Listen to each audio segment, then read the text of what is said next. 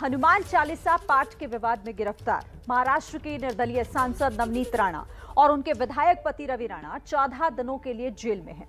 दोनों को आज भी कोई राहत नहीं मिली। कोर्ट ने जमानत याचिका पर सुनवाई के बाद फैसला सुरक्षित रख लिया है, जो सोमवार को सुनाया जाएगा। इस बीच ये सवाल लगातार बड़ा हो रहा है कि क्या नवनीत राणा महाराष्ट्र में हिंदुत्व का नया चेहरा बन गई है? इसी सवाल को तलाशती हमारी ये रिपोर्ट देखिए। नाम सुन के क्या लगा? फ्लावर है? फ्लावर नहीं। फायर है। क्या? फायर जो चेहरा कभी सिल्वर स्क्रीन पर चमका करता था, वो आखिर कैसे महाराष्ट्र की सियासत का सबसे चमकदार चेहरा बन गया?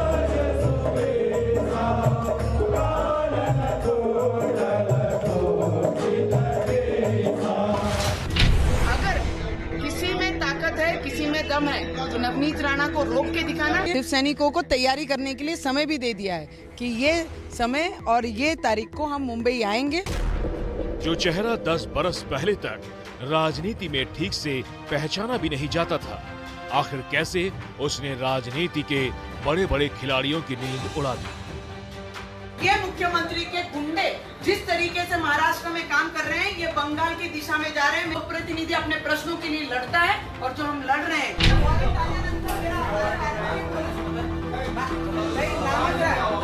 मी कॉन्फिडन्स केलाय तुम्ही तुम्ही महिला तुमची रिस्पेक्ट करते तुमचा मान सन्मान करते इकडे हनुमान चालीसा असेल पडा या घरी यायचे या.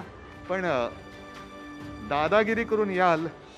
तर दादागिरी कशी मोडायची ते सुद्धा आम्हाला शिवसेना प्रमुखांनी हिंदुत्वाच्या व्याख्यात समजून सांगितलं. ये तो राम भक्त अभी बन गई महिला। मातोश्री के सामने आकर हनुमान चालीसा पढ़ना ये क्या चीज़ है? नवनीत राणा तो एक प्यादा है उसके पीछे और कुछ लोग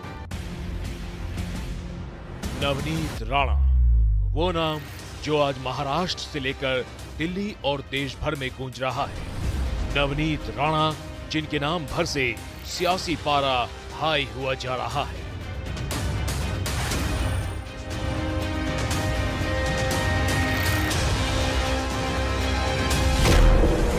विवाद हनुमान चालीसा के पाठ के ऐलान को लेकर शुरू हुआ, लेकिन देखते ही देखते ये विवाद उस मुकाम तक पहुँच गया, जिसमें दावे यहाँ तक होने लगे कि नवनीत राणा देश में हिंदुत्व का नया और मज़बूत चेहरा बन गई है।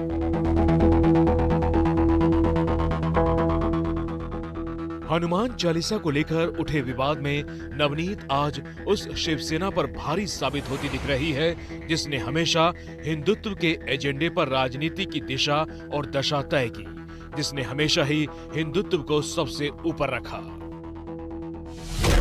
लेकिन नवनीत राणा वाले विवाद ने वक्त का पहिया ऐसा मुड़ा कि हिंदुत्व के नाम पर हुंकार भरने वाली शिवसेना खुद हिंदुत्व के मुद्दे पर घिरती नज़र आई।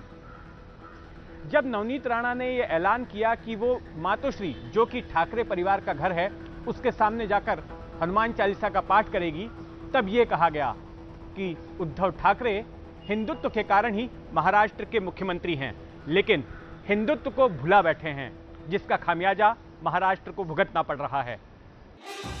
अब सवाल ये है कि आखिर एक निर्दलीय सांसद हिंदुत्व का चेहरा कैसे बन गई आखिर नवनीत राणा उद्धव सरकार के खिलाफ आवाज़ उठाने वाली आवाज़ कैसे बन गई? और जो बीजेपी उद्धव पर हमला करने के लिए पहले नवनीत का साथ देने से कतरा रही थी, वो क्यों खुलकर नवनीत के साथ नज़र आने लगी? है इन सवालों का जवाब जानने के लिए आपको आज से कुछ साल पीछे जाना होगा। उस दौर में जब नवनीत राणा की ज़िंदगी का पहिया घूमा था और राजनीति में उनकी एंट्री हुई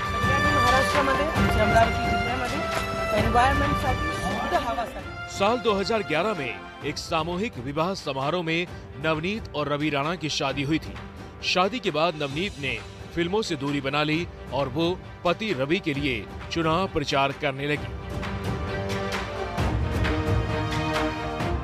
मॉडलिंग और फ़िल्मों की वजह से नवनीत लोगों के बीच जाना पहचाना नाम थी। जिसका फ़ायदा उन्हें खूब मिला। लोगों से जल्द जुड़ती चली गई। 2014 में नवनीत ने बड़ा फैसला किया। एनसीपी के टिकट पर अमरावती से लोकसभा का चुनाव लड़ा। अमरावती सीट शिवसेना का गढ़ मानी जाती थी, जहाँ 25 साल तक कोई दूसरी पार्टी जगह नहीं बना सकी थी। ये जानते हुए भी नवनीत शिवसेना के आनंद राव अडसुल के खिलाफ चुनाव मैदान में उतरी। वो चुनाव तो हार गई। लेकिन लोगों के दिलो दिमाग में अपनी छाप छोड़ने में कामयाब रही। माना जाता है कि तब से ही नवनीत राणा और शिवसेना के बीच असली लड़ाई शुरू हुई। साल 2014 के लोकसभा चुनाव में हार के बावजूद नवनीत राणा ने खुद को अमरावती क्षेत्र से अलग नहीं किया। अपने पति के साथ जाकर अमरावती के लोगों से मिलती रही। उनके मुद्दे उठाते रही और अमरावती के तत्कालीन सांसद आनंद राव अड़सुल के खिलाफ हुंकार भरती रही नवनीत राणा समझ चुकी थी कि अगर जमीनी स्तर पर काम किया जाए तो किसी भी अभेद किले को ध्वस्त किया जा सकता है। इन्हीं मज़बूत इरादों के साथ आगे बढ़ते हुए नवनीत राणा ने 2019 में फिर अमरावती से लोकसभा चुनाव लड़ने का फैसला किया। दोबारा मुकाबला शिवसेना के आनंद राव अडसूल से हुआ। एनसीपी ने नवनीत को फिर उसके टिकट से चुनाव लड़ने का ऑफ़र दिया, लेकिन नवनीत ने निर्दलीय उतरने की ठानी। एनसीपी और कांग्रेस ने सहयोग किया और अपने उम्मीदवार नहीं उतारे। और नवनीत राणा का दांव इस बार कामयाब रहा। उन्होंने शिवसेना के किले को ध्वस्त कर दिया। इसके बाद कई मौकों और कई मुद्दों पर शिवसेना और नवनीत राणा के बीच ठनी।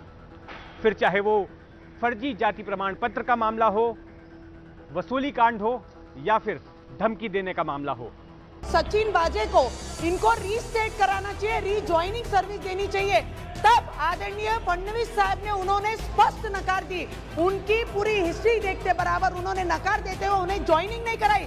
जिस दिन उद्धव ठाकरे की सरकार आई, ठाकरे सरकार चेयर पे बैठे। उसी वक्त परम सिंह जी को फ़ोन करके उन्होंने पहला काम कराया कि सचिन वाजे को ज्वाइन करवाइए। मोदी वेव थी लगभग, है ना? उसके बावजूद वो चुन करके आई थी नवनीत राणा। अभी अगला चुनाव भी उनको जो लड़ना होगा अमरावती में, वो फिर शिवसेना के साथ लड़ना है।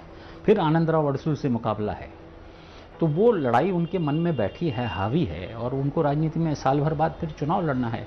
तो वो शिवसेना से लड़ करके वो अपनी छवि बढ़ाना चाहती हैं आनंदराव अड़सुल से एक कदम आगे बढ़ करके, शायद हम अब शिवसेना के बड़े लीडर को, सबसे बड़े लीडर को भी टक्कर दे सकते हैं और एक तरह से ऐसा माहौल बनाने की शायद ये कोशिश हो सकती है उनकी, ऐसा लगता है। 2019 के चुनाव प्रचार से लेकर अब तक नवनीत राणा ने अपनी रफ्तार घटाई नहीं। उनका इंस्टाग्राम अकाउंट भी इस बात की गवाही देता है कि कैसे नवनीत हिंदुत्व के रास्ते पर आगे बढ़ती रही। नमस्कार सभी को दिवाली की बहुत बहुत ढेरों शुभकामनाएँ। गुड़ी पड़वा से लेकर दिवाली तक ऐसा कोई तीज त्योहार नहीं जिसे नवनीत राणा ने पूरे विधि विधान से पूरा ना किया हो। जय श्री राम। नवनीत राणा का जन्म मुंबई के एक पंजाबी परिवार में हुआ। शादी से पहले वो नवनीत कौर के नाम से जानी जाती थी। लेकिन विदर्भ की बहू बनने के बाद उन्होंने मराठी संस्कारों को भी निभाया और पंजाबी रीत रिवाजों को भी। नवनीत राणा के इंस्टाग्राम अकाउंट पर ये तस्वीर देखने को मिलती है, जिसमें वो महिलाओं के साथ छठ का महापर्व मना रही है। पिछले दो साल से कोई जयंती हो या कोई तीज त्योहार, नवनीत राणा उसमें बढ़ चढ़कर हिस्सा लेती दिखाई दी। इसी महीने 10 अप्रैल को रामनवमी की तस्वीर भी देख लीजिए, जब नवनीत राणा भगवा साड़ी पहनकर नवमी के जश्न में शामिल हुई थी। नवनीत राणा के साथ उनके पति रवि राणा भी हमेशा मौजूद नज़र आए। चाहे आरती हो या फिर पूजा पाठ पति पत्नी की जोड़ी एक साथ रही। नवनीत राणा की राजनीति में एंट्री कराने वाले उनके पति रवि राणा ही हैं। साल 2009 से वे लगातार अमरावती के बडनेरा से विधायक हैं। साल 2009 उसके बाद साल 2014 फिर साल 2019 में लगातार वो चुनाव विधानसभा का जीतते आए हैं और नवनीत राणा के साथ खड़े रहे हैं। शादी से पहले खुद नवनीत ने भी नहीं सोचा था कि उनकी ज़िंदगी इस कदर मोड़ लेगी। मॉडलिंग के बाद नवनीत ने फ़िल्मों का रुख किया, तेलुगु, तमिल, पंजाबी, मलयालम और हिंदी फ़िल्म इंडस्ट्री तक में काम किया। 2011 में रवि राणा से मुलाकात हुई तो नवनीत की ज़िंदगी की दिशा ही बदल गई। उन्होंने फ़िल्में छोड़ दी, राजनीति से रिश्ता जुड़ा, फिर बदलते वक्त के साथ उनके सियासी तेवर भी सुर्खियाँ बनने लगे। हम सब यहाँ पर सरकार के सामने अपने अपने स्टेट की, राज्य की समस्या को लेकर यहाँ पर बात करने आए आप एक माँ है।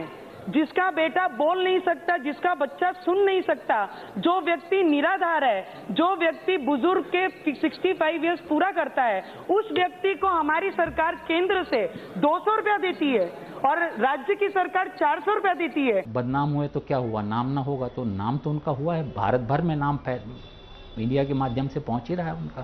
तो she is become what she ought to become है ना? जो फ़िल्मों में नहीं पा सकी, वो राजनीति में शायद वो पा रही हैं भारतवर्ष में। गौर करने वाली बात यह है कि महाराष्ट्र में हनुमान और अजान का विवाद एमएनएस के अध्यक्ष राज ठाकरे ने शुरू किया था।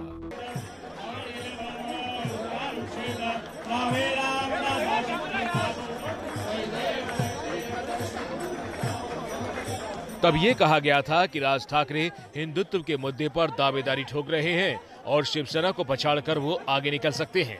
यहाँ तक कि बीजेपी को भी चुनौती दे सकते हैं। लेकिन राज ठाकरे कब पीछे छूट गए पता ही नहीं चला और हिंदुत्व के मुद्दे पर नवनीत राणा आगे दिख रही हैं, जिसमें उन्हें बीजेपी का सपोर्ट भी खुले तौर पर मिल रहा है।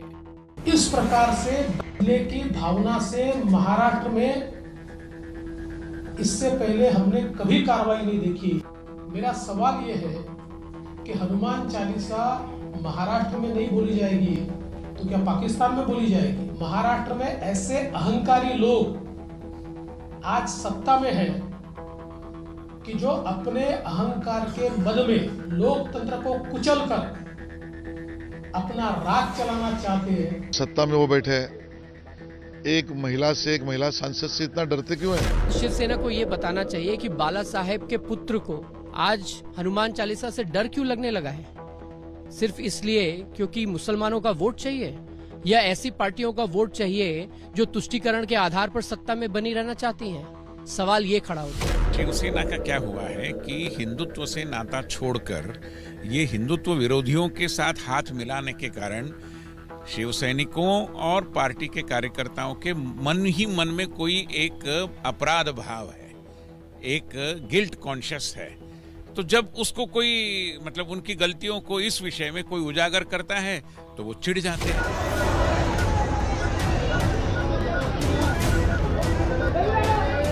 रवि राणा जी के जैसे संबंध हैं, जिस तरह से फडणवीस जी के साथ, और इस समय दोनों को बचाने के लिए बीजेपी और जितना कोशिश कर रही है, वो तो दिखाई दे रहा है। राइटिंग ऑन द वॉल है, ठीक है? अब उनके लिए जो हालात हो गए हैं, वो वापस एनसीपी की तरफ़ आना कि उन्होंने रास्ता बंद कर दिया है। मुझे लग रहा है कि वो वो रास्ता बंद हो चुका है। तो रास्ता बंद होने के बाद उनके पास भी बहुत ऑप्शन नहीं है। इंडिपेंडेंट अपने टिका के रखना और मैं इंडिपेंडेंट लड़ूँगी, बाहर से समर्थन देना, क्या नवनीत राणा इस बार ये बोल भी पाएँगे क्या बीजेपी को? मुझे मुश्किल लगता है। अब सवाल ये है कि नवनीत राणा को समर्थन देने के पीछे क्या बीजेपी की कोई बड़ी सोच है या रणनीति है? तो इसका जवाब खोजने से पहले ये आंकड़े देखिए।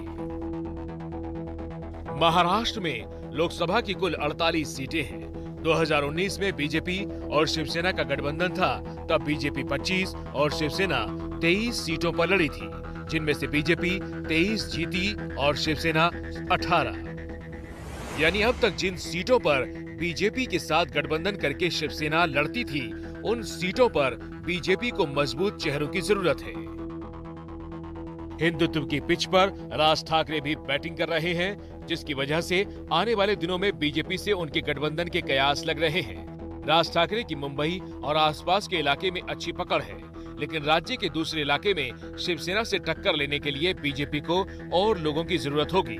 ऐसे में माना जा रहा है कि नवनीत राणा भी राज्य के इस इलाके में बीजेपी का भविष्य हो सकती है।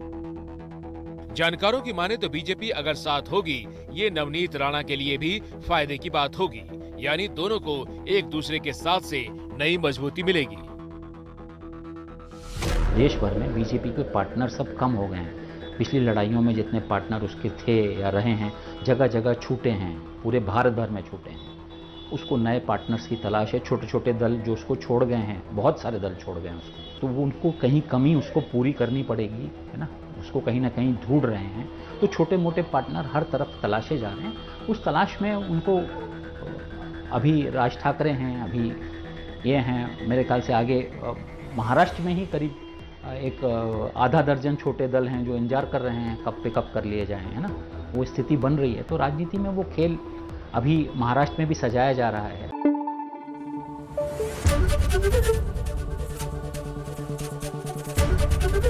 ABP news. आपको रखे आगे।